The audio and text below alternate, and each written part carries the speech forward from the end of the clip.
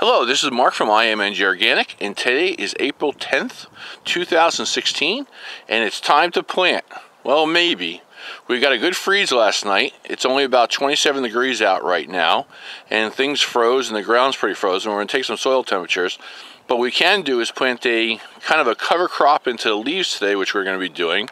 And I'm also going to show you how the uh, winter rye came up and we planted some strawberries in the wood chips already. And I also planted some crimson clover. We're going to take a closer look at that in a little bit.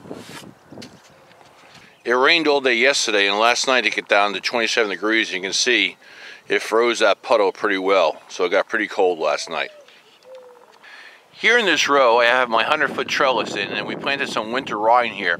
I also threw some crimson clover. I didn't mention in the last video because I didn't know how it was going to react, but I figured let me try and make the mistake. If it doesn't grow, then I will educate you and recommend in the future.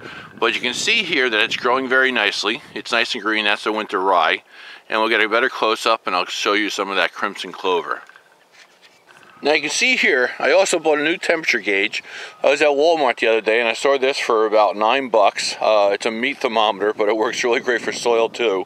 Uh, it's worth the nine dollars to buy it, and you're going to use it the rest of your life. It comes with a battery, and it says it's about 38 degrees in the soil. And behind the thermometer to the left over here, you can see the crimson clover growing. That's that little kind of heart-shaped leaf. So that's doing very well also. Now this is my third row over in the back to Eden wood chips.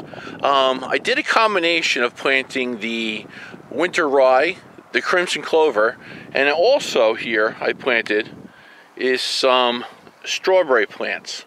You can see here, every uh, say 10 feet I planted some strawberry plants in a little bit of a raised bed and then also I, I stopped at the, the 10 feet and just let the clover and the winter rye grow and then plant another 10 feet of strawberry plants again also too. But I want to point out here something very interesting. I just want to show you here how soil temperature affects uh, growing. Now, the both plants, both strawberry plants, the one in the pot and the one in the ground were planted at the same day. The one in the pot is purely grown in leaf mold, and you can see how big it is. That was grown in my greenhouse. My greenhouse is not heated. Uh, whatever the nighttime temperature is, it gets down to the same as outside, but it has a better chance of warming up during the day and staying warm a little bit longer through the night.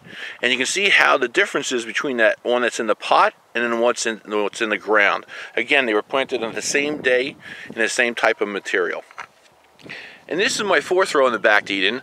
I actually filled it in with some soil, so I have to uh, make that soil good again because I put a lot of air into it.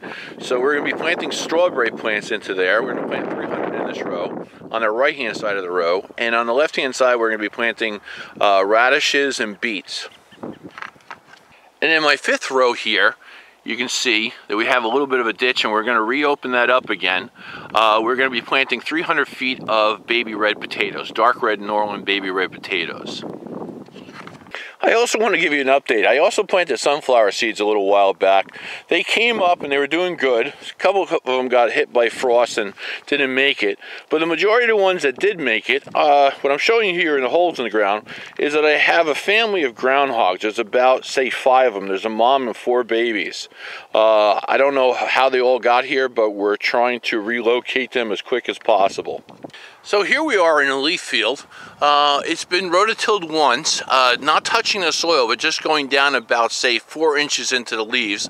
The leaves are about a foot thick. And what I just do is I just kind of bring up those decayed leaves to the surface and mix them with the dry leaves on top. And that gives me a good planting medium to plant into. I have four types of seeds that we're going to be using into the leaf mold here. And I'll describe them. We're going to go from left to right. On the left hand side, is our chickling vetch here. Then we have our crimson clover, our field peas, and our winter rye. And I just use my seed spreader that I wear in front of me, and basically it's just a handle crank, and a white disc on the bottom spins around, and will throw the seed out at least anywhere from 5 to 10 feet, depending on how fast you spin it. You can see our soil temperature here is about 48 degrees in the leaves. That's about a foot down, right at the soil level. And our little small thermometer here is, uh, what, 37 degrees. Not bad. Um, the winter rye and all the other uh, type of seeds only need about 35 degrees to start germinating. You can see that the seeds fall out the bottom. You just turn the handle and they spin out. Now we have our seeds spread all over the leaf mold and now we're just going to rototill them in. The blade's only going to go down about maybe say two inches to get it into that leaf mold.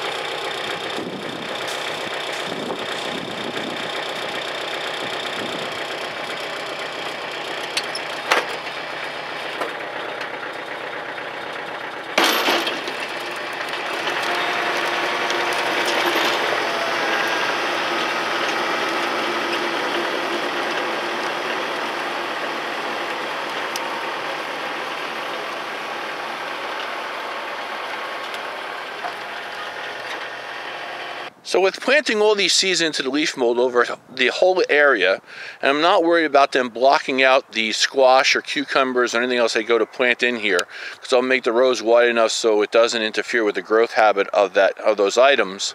But I'm going to be collecting as much solar energy as I can, and also carbon, and pumping it back down into the soil and making it as healthy as possible. Now I'm going to be able to cover this whole area in a, almost a green field. So I'm getting the benefits of having a, a high residue of fungus sitting here from my soil, but I'm also going to be building soil with all those roots that are going to be going down into the ground and to make it uh, aggregates and also to form uh, down there too. You can see how beautiful that leaf mold has turned out since we put it down, the full leaves down in October, about a foot and a half thick, and now it's about, say, eight inches thick. And it's turned into this great planting medium for those seeds. And we did absolutely nothing except maybe rototilled it once. And now when I say rototill, please remember, I do not hit the soil. I only go always down about say three or four inches or about half the thickness of the leaves just to re-aerate it again. But the stuff looks magnificent. I thank you very much for watching. I will go over in more details on planting every individual thing. Uh, I just want to spend about five or ten minutes on each uh, item so you get a good idea what I'm doing. I didn't want to rush through it and make this video too long, but we're going to go into more details and you'll see it in other videos of how I plant uh, the other items up into the wood chips and also into the leaves. And if you haven't done so, please subscribe and give me a thumbs up if you enjoyed this video. Thanks.